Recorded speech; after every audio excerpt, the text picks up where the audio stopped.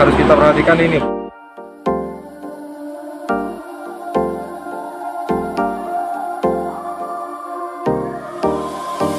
Assalamualaikum warahmatullahi wabarakatuh.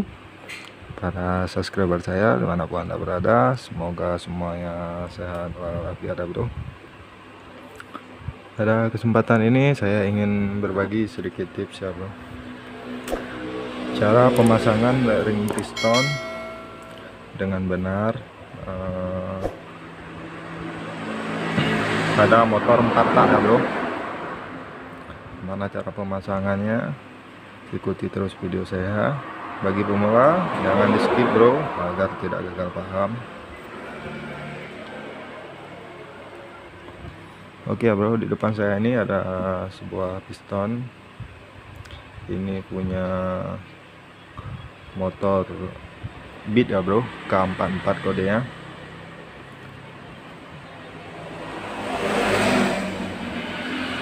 Gimana sih cara pemasangan ring piston yang benar? Oke bro.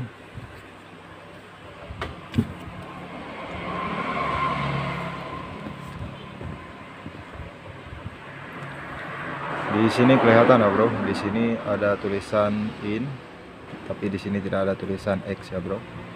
In ini posisinya di atas bro. Di klep atas bagian klep hisap. Dan yang coakan kecil ini di bagian uh, klep buang ya bro. Posisinya di bawah. Ini jangan sampai terbalik bro. Cara pemasangan ring piston yang benar bro. Sangat gampang ya bro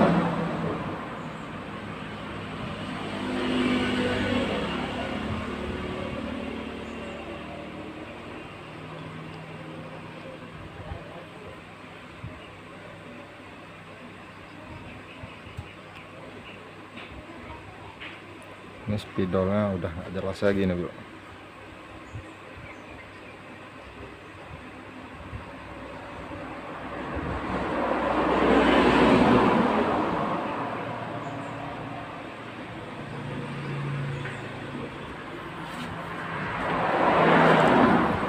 Kelihatan ya bro garis-garisnya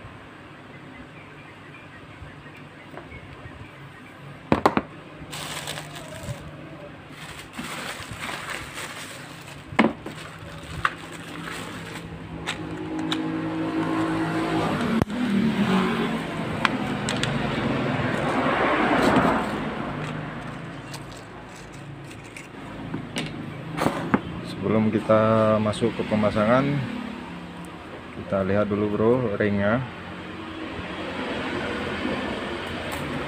Di sini pada motor 4 tak ada 5 ya bro? 5 ring uh, sudah termasuk uh, ring olinya oke terutama di sini ada ring kompresi ya bro kelihatan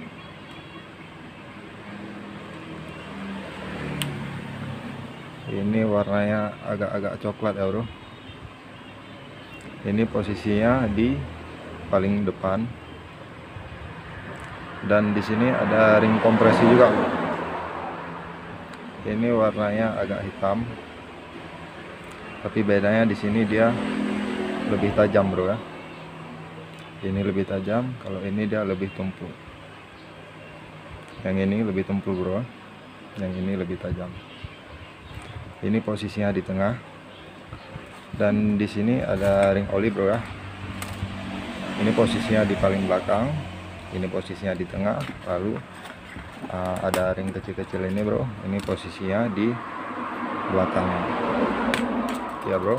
Ini saya gambarkan dulu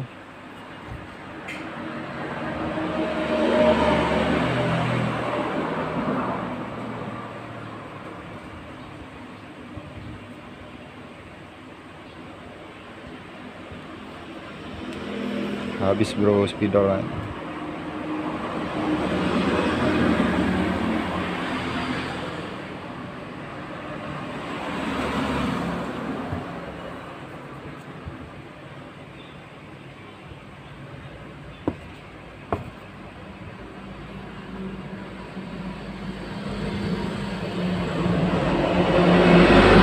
Oke bro, karena berhubung berhubung spidolnya pun habis ini saya praktekkan saja langsung bro ini kelihatan ya bro.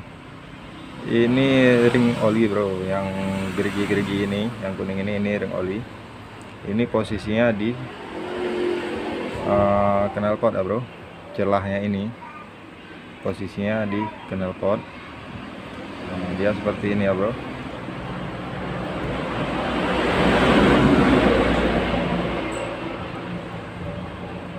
Celah ring oli ini ini posisinya di knalpot ya bro. Dan ini. Ini posisinya di sini ya bro.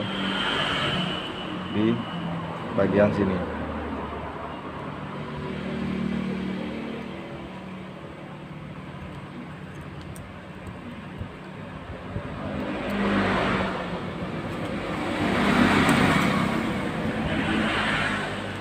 Dan ring oli satu lagi ini bro yang tipis ini. Ini posisinya di sini ya bro.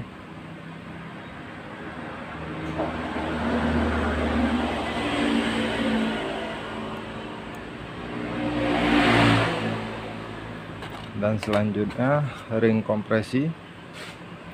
Yang ini bro. Ini posisinya di sini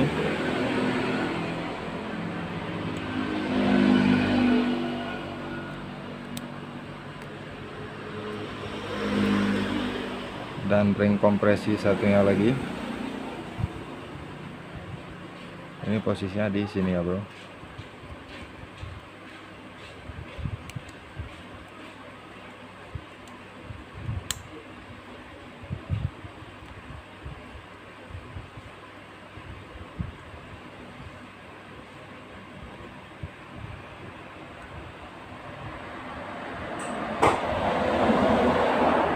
Kelihatan ya bro ini posisi ring kompresi yang pertama dia posisinya di garis ini. Dan ini ring kompresi yang kedua. Posisinya dia di sini bro ini seandainya terbalik pun tak apa-apa bro ya. Yang penting posisinya di samping. Ini guna posisinya ring ini uh, di samping bro. Untuk memperkurang uh, untuk mengurangi gaya gesekan ya bro. Karena soalnya kalau ini kita taruh di atas ini gesekannya terlalu kuat ya bro kalau bagian atas ini. Jadi ring ini usahakan dia agak sedikit ke samping dan yang ini agak ke samping. Jadi gesekannya itu agak sedikit berkurang ya bro. Jadi untuk uh, ketahanan ring pun bisa lebih lama ya bro. Ini kalau menurut saya ini bawaan uh, standar sepeda motor begini dia bro dan yang ring olinya yang kuningan ini ini bro di bawah ini. Posisinya bro.